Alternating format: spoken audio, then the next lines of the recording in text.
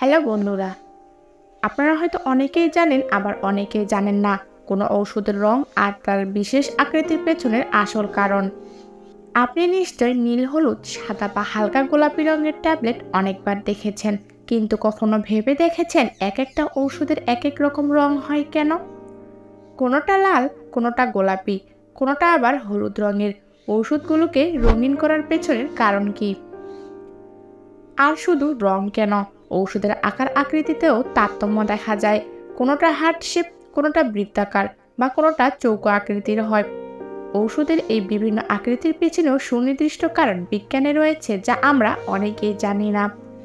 Capsule ট্যাবলেটের বিভিন্ন রং আর আকৃতির পেছনের আসল কারণগুলি জেনে নিই। বেশিরভাগ ট্যাবলেটের রং সাদা, তবে কিছু রঙিনও হয়। রাসায়নিক বা ঔষধ থেকে ওই ট্যাবলেট তৈরি করা হয় সেটার উপরে নির্ভর করে ওই ঔষধের রং কেমন হবে। অর্থাৎ কোনো ঔষধ তৈরির ক্ষেত্রে ব্যবহৃত মূল রাসায়নিকের রং যেমন হবে, ঔষধও তৈরি হবে ঠিক সেই রঙেই। যেমন, বারবেরিন নামের অ্যামোনিয়াম লবণের রং হলুদ, তাই বারবেরিন ব্যবহার করে তৈরি ওষুধের রঙও হলুদ হয়। একই কারণে কার্বন ট্যাবলেটের রং কালো হয়। আসলে, ঔষধের রঙের ভিত্তিতে ওষুধে ব্যবহৃত উপাদান শনাক্ত করতে সুবিধা হয়। তাই ওষুধে ব্যবহৃত রং ও ঔষধে থাকা মূল রাসায়নিক উপাদানের রঙের ভিত্তিতেই নির্ধারিত হয়ে থাকে।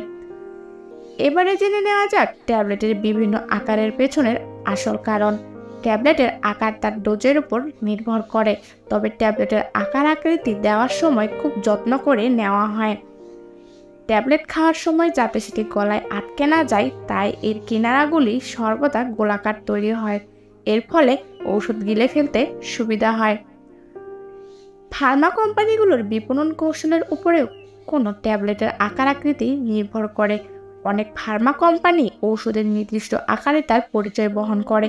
অনেক ক্ষেত্রে ফার্মা কোম্পানি তারা লোগোর আকৃতি অনুযায়ী ঔষধের আকার নির্ধারণ করে থাকে, যে কারণে এক এক সংস্থার তৈরি ঔষধের আকার আকৃতিও ভিন্ন ভিন্ন হয়।